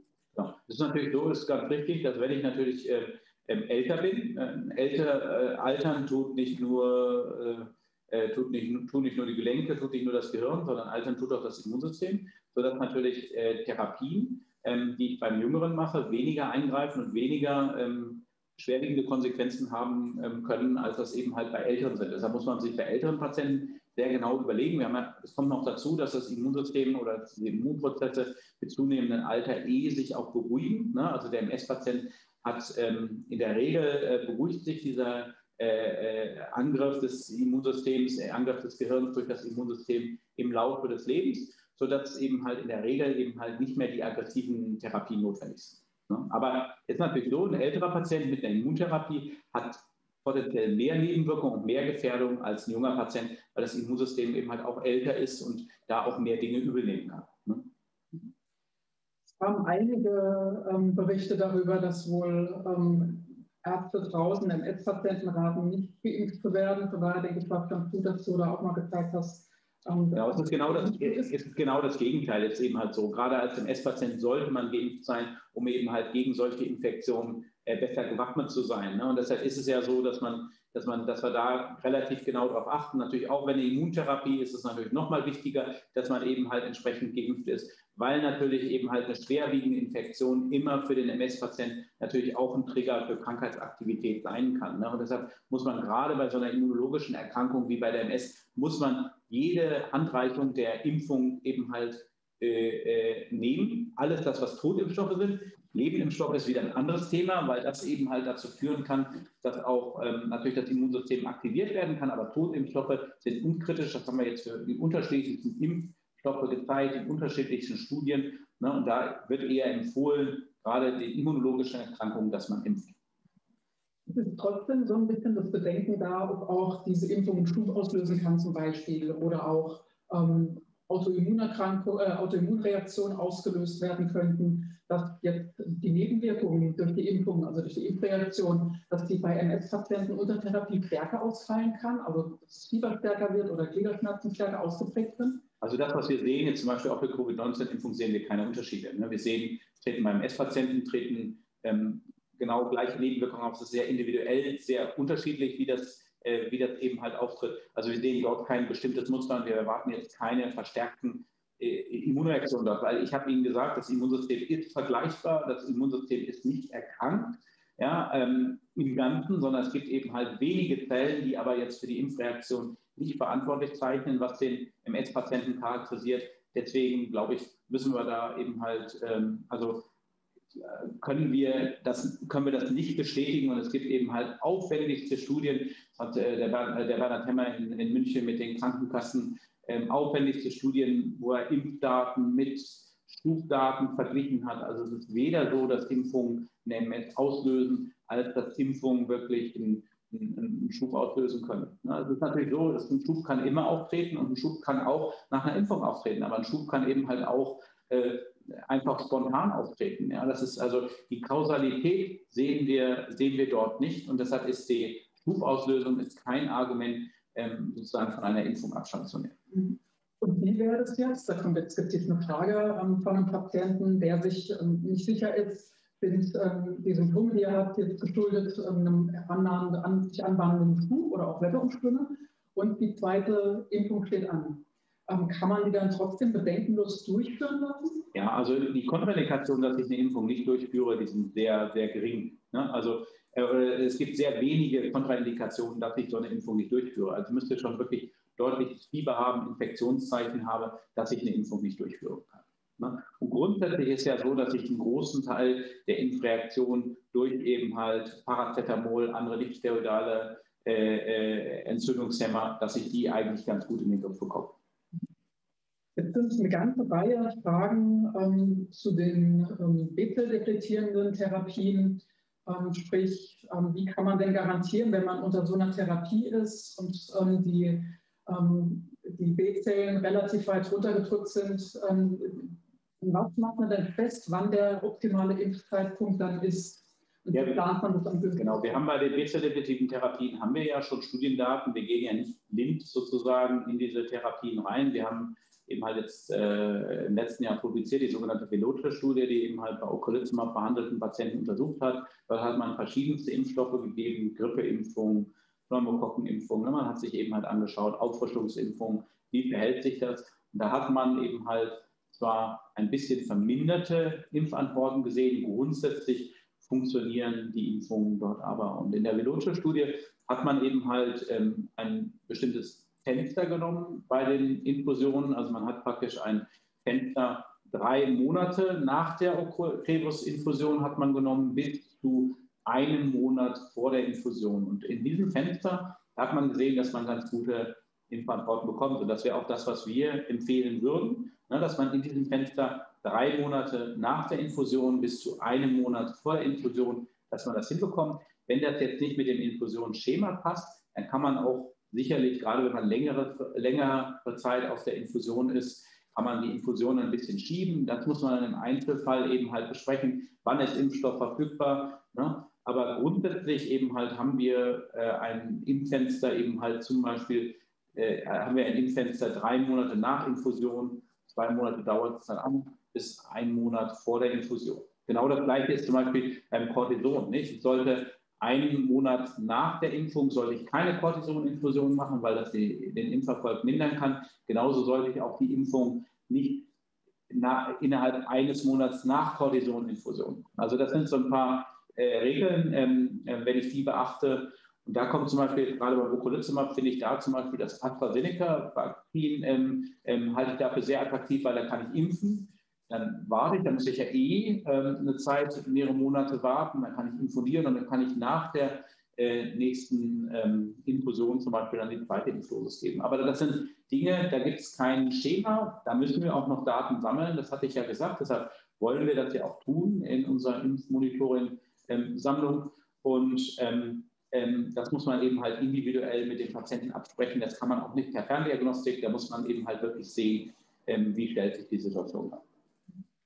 Und ähm, gerade jetzt nochmal zu Ocrevus, da kam nämlich auch gezielt eine Frage, da die B-Zellen in der letzten Untersuchung ähm, quasi bei Null waren. Ähm, wie lange kann man da eine Infusion vielleicht auch aufschieben, damit sich die B-Zellen erholen? Also da würde ich die, ich die Hand von lassen, weil wenn die B-Zellen sich erholen, wenn das im Blut wenn die Zellen wieder hochkommen, dann kommt die Krankheitsaktivität auch wieder zurück. Ja, und das Problem ist beim Ocrevus kann ich mit der B-Zellzahl nicht beurteilen, was im Körper abläuft. Und es ist ja so, wir wissen es ja aus den Impfstudien, da habe ich drei Monate nach Ocrevus-Infusion geimpft. Ja, ich habe gute B-Zellantworten bekommen, obwohl im Blut keine B-Zellen nachweisbar sind. Das Problem ist, dass für uns nicht das Entscheidende ist bei der Impfung, was für B-Zellen im Blut sind, sondern wie die B-Zellen in Lymphknoten aussehen. Und wir sollten nicht die falsche, von der falschen ähm, ähm, äh, Vorstellung ausgehen, dass die B-Zellanzahl im Blut die repräsentative ist. Ja? Und die B-Zellanzahl im Blut, die ist immer unten. Ja? Und ähm, das Entscheidende ist aber, was in den Immunorganen wirklich abläuft. Und deshalb würde ich mich nie auf die periphere B-Zellanzahl eben halt verlassen, weil wenn die wieder hochkommt, dann haben wir schon wieder den Entzündungsprozess, der hochkommt. Mhm. Aber ich denke, das ist ganz wichtig, weil die Frage kam jetzt ein paar Mal dass eben Voruntersuchungen liefen mit den B-Zellen und davon die Impfung abhängig gemacht wurde. Ja, das ist aber Quatsch. Das ist aber Quatsch. Ne, auch in der Veloce-Studie waren die B-Zellen supprimiert und man hat gute Impferfolge gesehen. Entscheidend ist dort eben halt, äh, entscheidend ist dort eben halt andere Prozesse. Wie sehen die B-Zellen zum Beispiel im Lymphknoten aus. Und das sehen wir auch bei den anderen Therapien. Ja. Wir sehen zum Beispiel auch nach allem Tuxumab, nach Cladribin, dass ich da eben halt schon relativ nach wenigen Monaten gut impfen kann, obwohl im Blut die Zellen deutlich niedriger sind. Das Blut ist nicht repräsentativ für das, was in den Immunorganen ist. Schauen Sie sich auch beim Fingolimod oder bei den anderen SNP-Medikamenten Liponimod, Ozanimod ein. Da haben Sie ganz wenig Lymphozyten ja nur noch im Blut. Trotzdem sind die Impfreaktionen fast normal, weil das Entscheidende ist, wie viele Immunzellen im Lymphknoten sind und nicht wie viele im Blut sind. Es kamen jetzt noch einige Fragen zu unserer Impfstudie. Ähm, zum einen, ob bei uns schon geimpft wird oder ab wann und ob wir ja, Probanden brauchen. Ähm, ich denke, das Interesse ist gerade ganz groß, weil auch hier viele Fragen eingehen mit der Immunantwort auf eine Impfung bei uns. Und das große Problem ist, das große Problem ist, wir alle wissen, dass das im Moment Impfstoff, ähm, Impfstoff äh, äh, nur den Impfzentren und eben halt Einrichtungen, mobilen Impfteams zur Verfügung gestellt wird. Wir starten schon seit längerem Initiativen, auch äh, haben wir beim SMS angefragt, ob wir nicht auch Impfstoff bekommen könnten, ne, weil wir natürlich auch dann, weil wir gerade was wir mit den Impffenstern gesagt hatten, wir würden das gerne machen, wir, wir bleiben dran.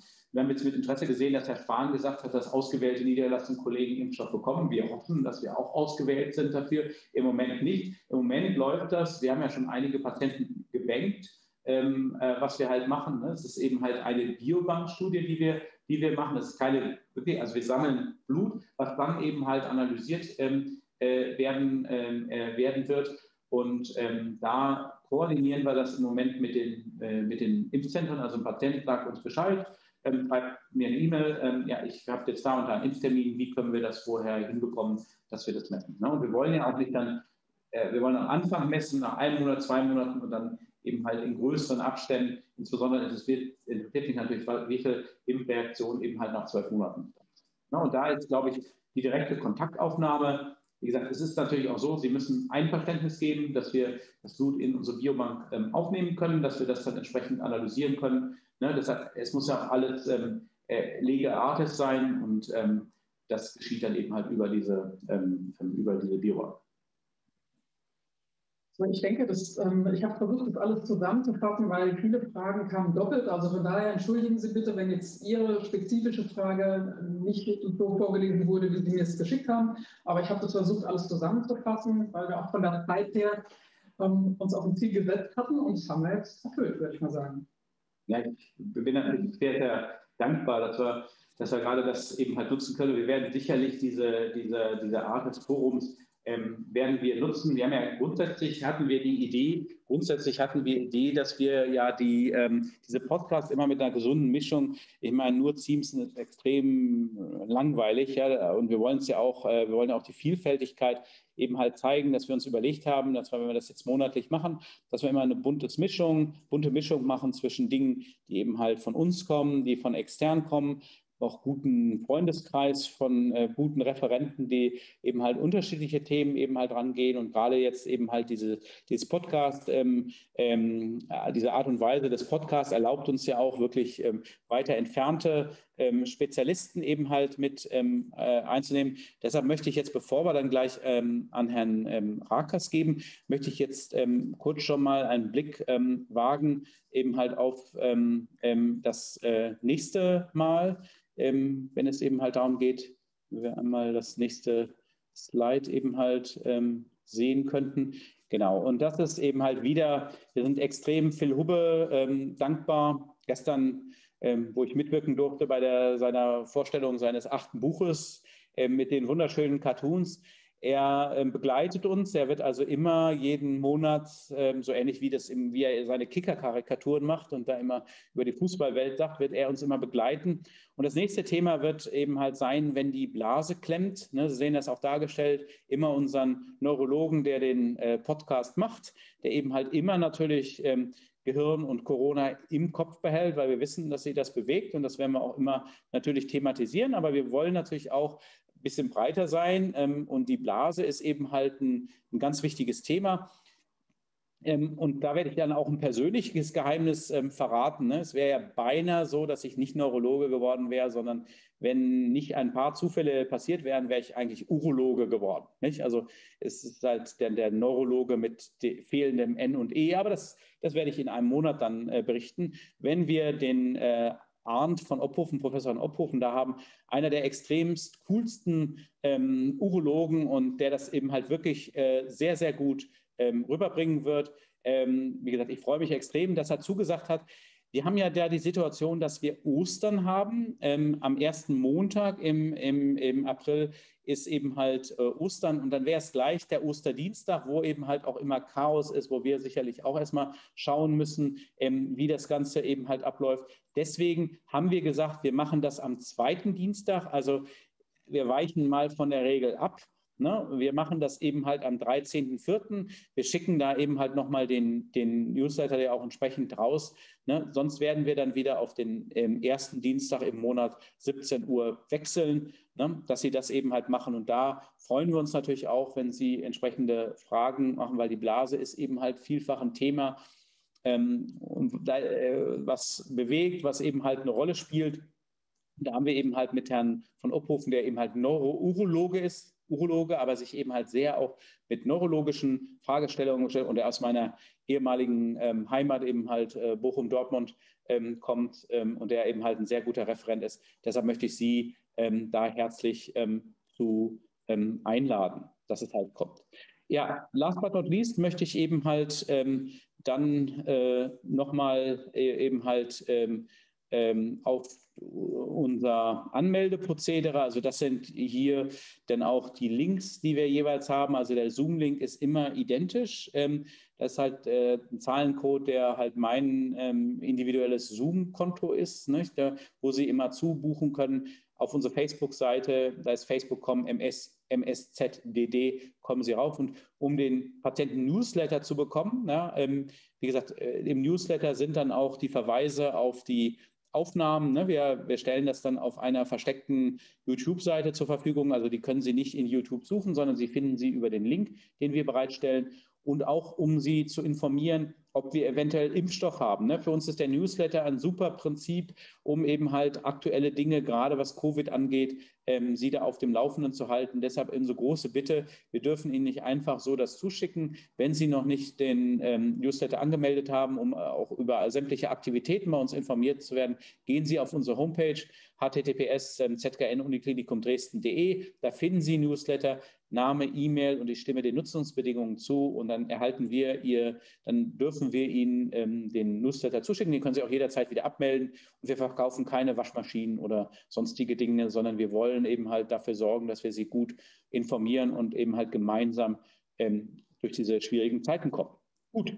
Jetzt kommen wir dann noch zum Zucker, ähm, ähm, wo es eben halt darum geht, wo wir nach Jena schalten, wo es eben halt darum geht, dass wir äh, eben halt mit Herrn Rakas, der sich dort eben halt äh, beschäftigt, Immunsystem, Schwangerschaft, Gehirnentwicklung, eben halt nach Schubtherapie. Und ähm, da ähm, würden wir jetzt eben halt uns mal anschauen, was die Kollegen machen. Die Kollegen suchen auch immer noch, ähm, ähm, und können wir gerne vermitteln, suchen immer auch noch Mütter, die eben halt in der Schwangerschaft ähm, Cortison oder, oder kein Cortison bekommen haben, wo die Kinder eben halt jetzt zwischen 8 und 18 Jahren sind, um eben halt entsprechend zu untersuchen. Und warum das eine Rolle spielt, ähm, wird uns jetzt ähm, Herr Rakas direkt sagen. Also schalten wir mal ähm, nach Jena und ähm, das ist von Herrn Rakas der Schilder.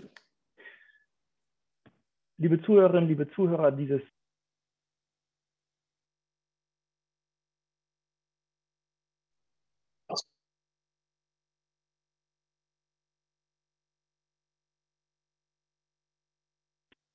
Podcastes. Erstmal herzlichen Dank an Professor Thiemsen für die Möglichkeit, heute eine sehr interessante Studie aus dem Universitätsklinikum in Jena präsentieren zu dürfen. Mein Name ist Florian Rakers. Ich bin Neurologe und arbeite im MS-Zentrum am Uniklinikum in Jena und beschäftige mich neben der Diagnostik und Therapie der multiplen Sklerose auch mit den Auswirkungen von pränatalem Stress, also Stress während der Schwangerschaft, auf die Gehirnentwicklung des Kindes im späteren Leben. Und das ist auch der Inhalt dieser Studie. Wir wollen nämlich untersuchen, ob eine MS-Schubtherapie mit dem Stresshormon Cortison während der Schwangerschaft langfristige Auswirkungen für die Gehirnentwicklung der Kinder im späteren Leben hat. Unsere Studie heißt ganz kurz MS Kinder.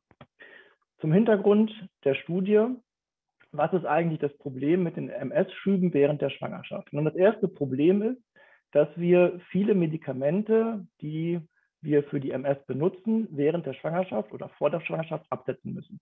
Das liegt daran, dass diese Medikamente entweder nicht erprobt sind und wir nicht wissen, was sie mit dem Ungeborenen machen, oder aber sie sind direkt schädlich für das Baby im Mutterleib und müssen deswegen beendet werden. Wir wissen, dass das Schubrisiko während der Schwangerschaft sinkt. Allerdings ist dieser Effekt erst im dritten Trimenon, das heißt also im letzten Drittel der Schwangerschaft, besonders ausgeprägt. Im ersten und zweiten Trimenon, im ersten und zweiten Drittel der Schwangerschaft treten häufig noch Schübe auf. Und wenn Schübe auftreten, dann werden sie gegenwärtig auch leitliniengerecht, so sagt das die Leitlinie der Deutschen Gesellschaft für Neurologie, mit dem Stresshormon Cortison behandelt. Das kennen alle Patientinnen und Patienten und auch Angehörige. Wenn man einen Schub hat, dann wird er in der Regel mit Cortison behandelt und das wird während der Schwangerschaft auch so gemacht. Cortison, das ist ein Stresshormon. Das schütten wir natürlicherweise auch aus, wenn wir gestresst sind. Das unterdrückt die Entzündungsaktivität im Körper und unterdrückt auch die Entzündungsherde.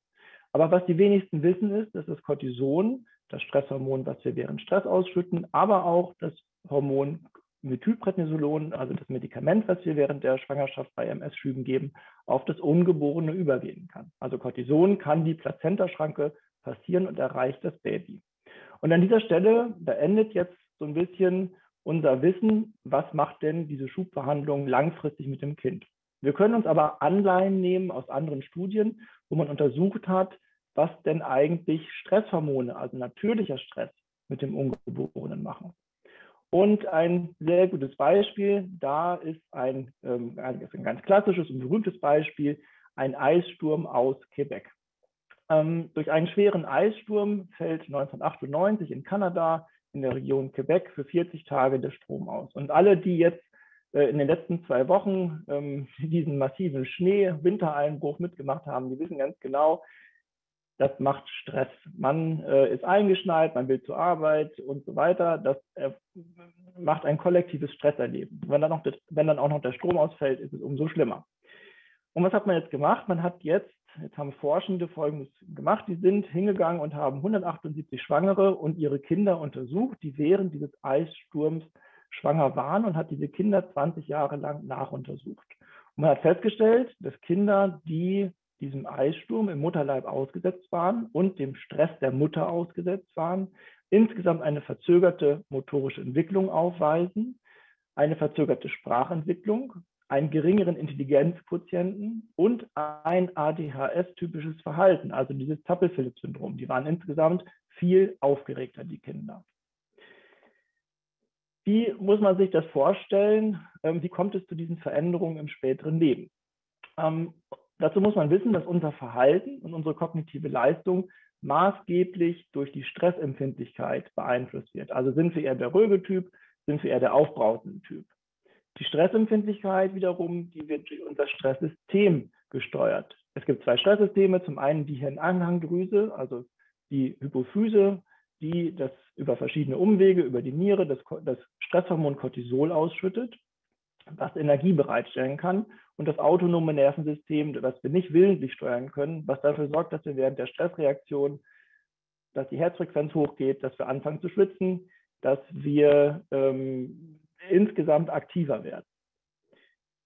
Jetzt kann es, jetzt ist es so, dass mütterlicher Stress, Eissturm in Quebec oder künstliche Stresshormone, wie zum Beispiel bei der MS-Schubtherapie, die Reifung der kindlichen Stressachse bereits im Mutterleib beeinflussen können. Und die Folge davon ist, dass wir das gesamte Leben eine veränderte Stressachse haben.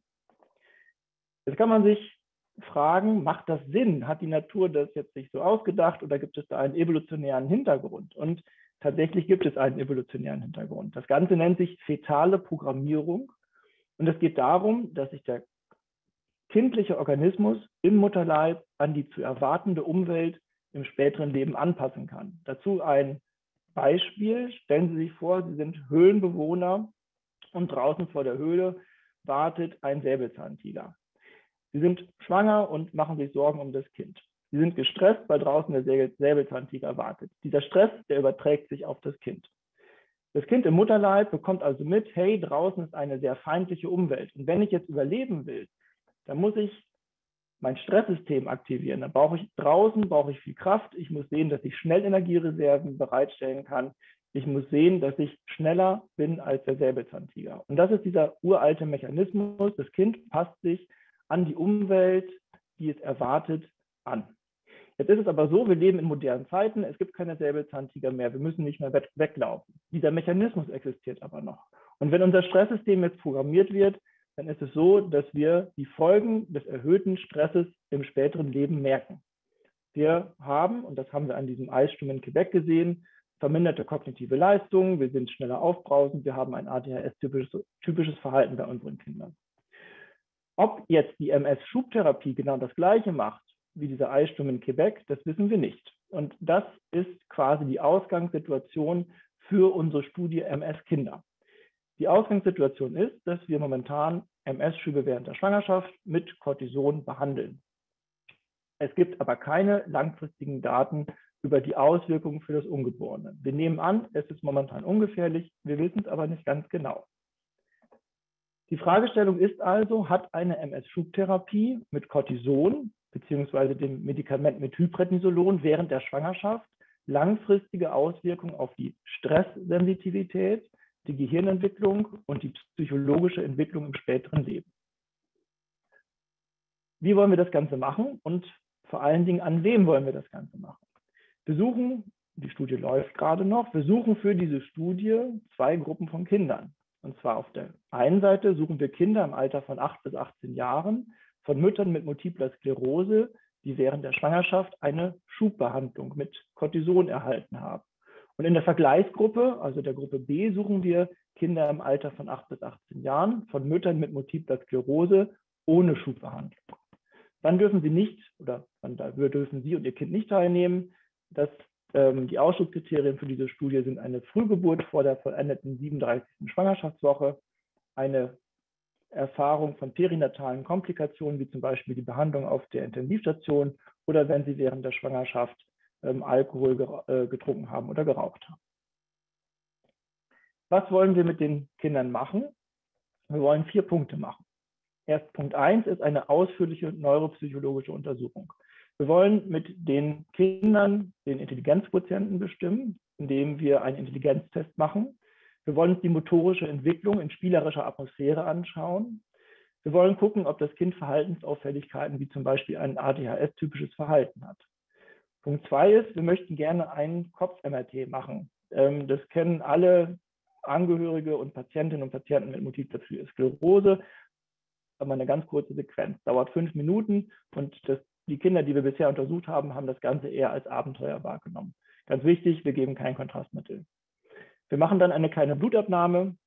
Wir möchten nämlich gerne gucken, ob denn die Therapie mit Cortison während der Schwangerschaft auch Folgen im Blut hinterlässt und ob man in Zukunft vielleicht Entwicklungsstörungen vorhersagen kann anhand einer Blutabnahme. Und das vierte, das ist der, ein, ein Kernteil dieser Untersuchung und dieser Studie ist der sogenannte Trial Social Stress Test. Wir möchten einen kleinen Stresstest mit dem Kind machen, aber keine Angst. Das Ganze ist nicht schlimmer als eine Prüfungssituation in der Schule. Der Trier-Social Stresstest, das ist eine standardisierte Stressuntersuchung, bei der wir die Stressreaktion des Kindes überprüfen können, indem wir eine Prüfungssituation nachstellen. Das äh, sieht man hier auf diesem Bild ganz gut. Ähm, das Kind kommt in einen Raum, in dem zwei oder drei Prüfer sitzen ähm, und das Kind soll dann eine Geschichte nacherzählen, die wir ihm vorher, den Anfang der Geschichte haben wir ihm vorher gegeben, ihm ähm, gegeben und dann wird diese Geschichte nacherzählt.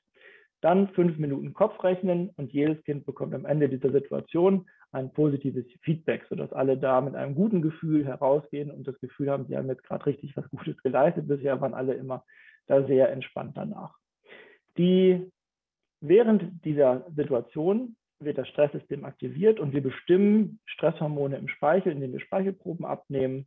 Wir bestimmen die Hirnströme und schauen uns die Stresssituation im, in den Gehirnströmen an und wir messen ein EKG, um auch die autonome Stressreaktion am Herzen nachvollziehen zu können. Und ganz wichtig, am Ende dieser ganzen äh, Tests machen wir mit ihnen eine ausführliche Auswertung und gucken uns an, ähm, wie denn ihr Kind da abgeschnitten hat. Der Studienablauf, insgesamt sind zwei Studientage geplant. Ähm, die Studienzentren sind in Jena und in Bochum. Äh, für diejenigen, die aus äh, Dresden kommen, ist Jena sicherlich der nächste Weg. Wir übernehmen ähm, Reisekosten, äh, gegebenenfalls Hotel. Jena ist eine sehr schöne Stadt, kann man, da kann man sehr gut auch ein oder zwei Tage zubringen. Ähm, wir zahlen eine angemessene Aufwandsentschädigung, sodass sie keine Kosten haben. Diese Studientage, die können durchaus auch gesplittet werden. Also an einem Studientag ist das MRT vorgesehen, an einem anderen die neuropsychologische Untersuchung. Und alle ähm, Untersuchungen finden in den Ferien statt ähm, und wir stellen uns da auf, äh, auf alle Termine ein. Wenn wir jetzt die, Ihr Interesse an dieser Studie geweckt haben, dann würden wir uns gerne freuen, wenn Sie sich mit uns in Verbindung setzen unter ms-kinder.de oder der E-Mail-Adresse ms-kinder.med.uni-jena.de. Sie können gerne auch äh, weiter diese Studie weitertragen und äh, vielleicht kennen Sie den einen oder anderen, der noch für diese Studie in Frage kommt. Jetzt nochmal ganz herzlichen Dank für Ihre Aufmerksamkeit und nochmal danke an Professor Thiemsen für die Möglichkeit, heute hier etwas über Stress in der Schwangerschaft und MS-Therapeutika äh, während der Schwangerschaft, Schubbehandlung zu erzählen. Vielen Dank.